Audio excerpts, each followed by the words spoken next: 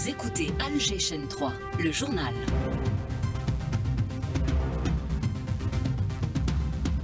Bonjour Walid. Bonjour Hakim Bey, mesdames, messieurs, bonjour. Et au sommaire de la matinale de ce mardi 31 octobre, les raids de l'aviation sioniste se sont intensifiés. Une centaine de martyrs durant la nuit. Ce matin, les forces sionistes opéraient de nouvelles incursions en Cisjordanie. Une agression sioniste qui bute sur une résistance farouche et héroïque des Palestiniens. Toutes les tentatives d'incursion ont été repoussées, affirme hier le Kataib al-Qassam. Sur le plan humanitaire, le dispositif actuel pour l'introduction des aides depuis le point de passage de Rafah menace de s'écrouler. Amer constat établi par le premier responsable de l'UNRWA en Palestine d'une nouvelle réunion du Conseil de sécurité tenue hier. Et dans ce contexte de développement dangereux en Palestine occupée, l'Assemblée populaire euh, tiendra ce matin une plénière extraordinaire à la demande des présidents des groupes parlementaires en présence du ministre des Affaires étrangères Ahmed Attaf. Un chiffre à retenir ce matin, le recrutement à partir de la mi-novembre prochain de 1904 enseignants hospitaux universitaires. L'effectif de cette catégorie qui augmentera ainsi de 40%, une première depuis l'indépendance, annonce faite par le ministère de l'Enseignement supérieur. Et puis en sport, l'équipe de natation qui a bouclé sa participation au championnat arabe disputé à Abu Dhabi avec une moisson de 20 médailles, 13 en or, 3 en argent et 4 en bronze. Pour commencer, Walid Selman, la situation euh, à Gaza, sur le terrain, les raids de l'aviation sioniste qui se sont intensifiés, toutes les lignes rouges sont transgressées. Et malgré les 18 000 tonnes d'explosifs diversés sur Gaza, les commandos palestiniens opposent une farouche résistance à l'armée sioniste. Les bombardements continuent de cibler les hôpitaux, les infrastructures de l'ONU et de l'UNRWA. Le point de la situation avec vous, Linda Babsa. Hier, la journée et la soirée ont été marquées par des raids intensifs et violents de l'occupation israélienne à Shoujeya, à Toufah et à Hayzaytoun, à Gaza, où en représailles au propos du président Erdogan, l'armée israélienne a bombardé le seul hôpital turc qui reçoit les patients atteints de cancer.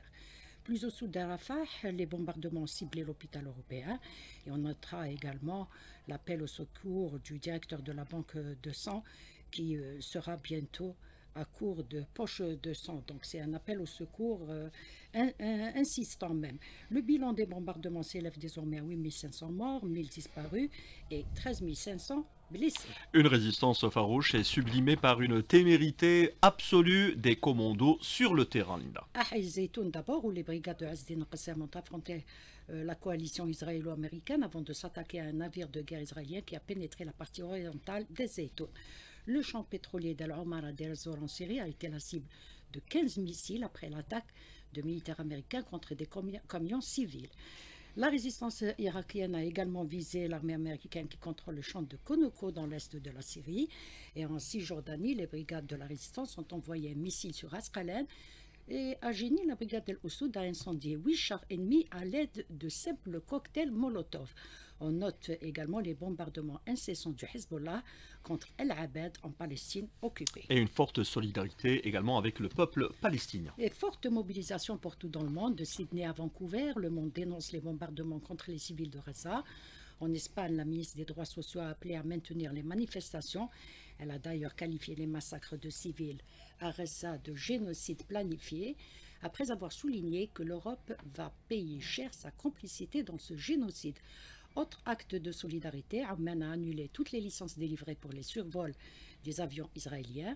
Et enfin, les responsables du Hamas, eux, appellent les États arabes et musulmans à exprimer leur solidarité en boycottant les produits made Israël. Par ailleurs, plusieurs Israéliens faits prisonniers de guerre par le Hamas ont fustigé hier soir Netanyahou à travers une vidéo mise en ligne par les membres de la résistance. Et vous disiez à l'instant, Linda, une agression sioniste qui bute sur une résistance farouche et héroïque des Palestiniens. Toutes les incursions de l'armée sioniste ne durent pas plus d'une demi-heure en dépit de l'appui qu'assure l'aviation sioniste et les bombardements tout azimut, affirmait hier un responsable de la résistance palestinienne. Nous avons mené toute la journée d'hier des accrochages également avec les forces sionistes après les tentatives d'incursion menées au nord-ouest du pays.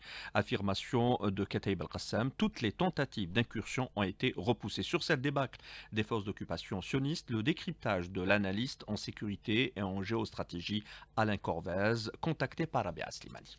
Cette offensive du Hamas a démontré que l'armée israélienne avait d'énormes faiblesses. En l'occurrence, la résistance du Hamas aux attaques, leur échec, est due au fait que l'infrastructure préparée de très longue date par euh, le Hamas et le djihad islamique, propagande de guerre, ne voulait pas annoncer leur offensive terrestre euh, à Gaza comme euh, lancée et déterminante parce que s'il y avait un échec, comme il y en a eu un d'ailleurs, ce n'était pas bon pour leur propagande et donc là, ils se sont retirés avec des pertes, semble-t-il. le fait que l'armée israélienne n'a pas pu entrer dans Gaza est maintenant avéré. Donc, euh, et c'est dû au fait que la résistance euh, palestinienne s'est organisée.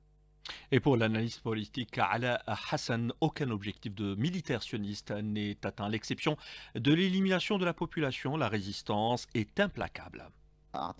La résistance palestinienne reste forte et ses capacités intactes. L'ennemi a visiblement échoué. Sa riposte est d'intensifier les attaques contre les civils et détruire toute la bande de Raza. Il se venge. Déjà plus de 8000 martyrs, maisons détruites, hôpitaux à l'arrêt, de véritables massacres et génocides sont perpétrés. Avec tout cela, l'armée sioniste n'a pu opérer son intervention terrestre à Raza pour l'occuper à nouveau. Un échec qui l'a contraint à revoir ses ambitions. On est face aujourd'hui à une armée vaincue. Et sur le plan humanitaire, le dispositif actuel pour l'introduction euh, des aides depuis le point de passage de la femme menace de s'écrouler. C'est la mère constat établi hier par le premier responsable de l'UNRWA en Palestine lors d'une nouvelle réunion du Conseil de sécurité consacrée à la situation de Raza.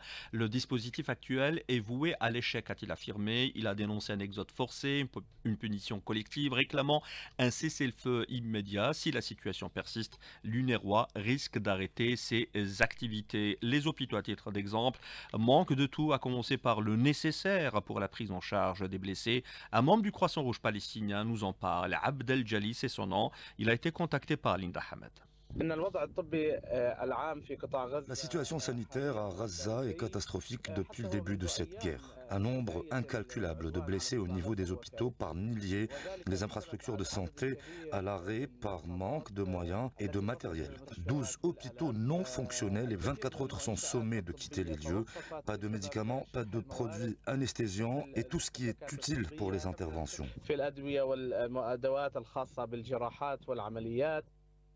Et à retenir également cette déclaration du président russe Vladimir Poutine qui a affirmé hier que les États-Unis, je cite, sont responsables du chaos mortel au Moyen-Orient. Ce sont les élites dirigeantes actuelles des États-Unis et leurs satellites qui sont les principaux bénéficiaires de l'instabilité mondiale. La Commission africaine des droits de l'homme et des peuples a appelé la communauté internationale à travailler sans relâche à la cessation immédiate de l'agression sioniste à Gaza et en Cisjordanie occupée. Puis le moufti général d'Al-Quds et de Palestine, Sheikh Hussein a salué la position immuable et intrinsèque de l'Algérie en faveur de la cause palestinienne et de la lutte de son peuple pour la liberté et l'indépendance. Et à propos justement de cette position de principe de l'Algérie, le président du Conseil de la Nation, Salah Goudjil, a affirmé hier que l'Algérie sera toujours libre et constante dans ses positions, réaffirmant le soutien des effectifs de l'Algérie aux causes justes, en tête desquelles la cause palestinienne. C'était lors de son intervention, lors d'une rencontre abritée par l'École nationale d'administration à l'occasion du 60 9e anniversaire du déclenchement de la révolution du 1er novembre 1954.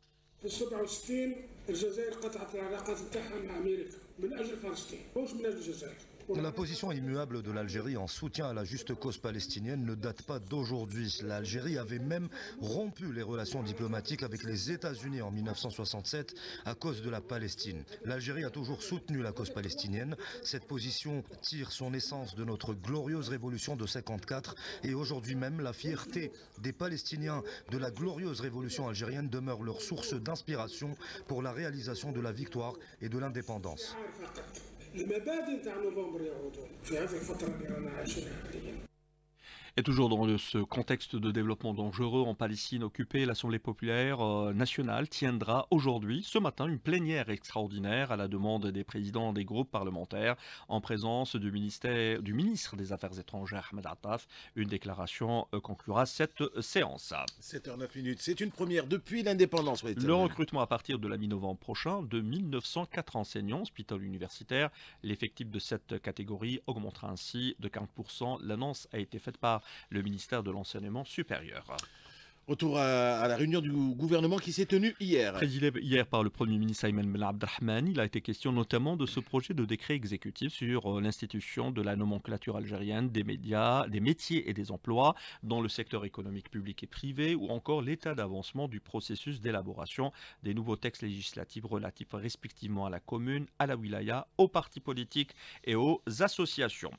De la culture euh, également euh, dans cette édition avec le SILA, le Salon international du livre d'Alger, qui se poursuit. Un travail de mémoire ce matin, la bataille politico-diplomatique pour l'indépendance de l'Algérie de Mohamed Tahar, édité aux éditions ANEP. Le livre tente de répondre en rendant hommage aux diplomates algériens, à leur intelligence, à leur patriotisme et à leur contribution éminente.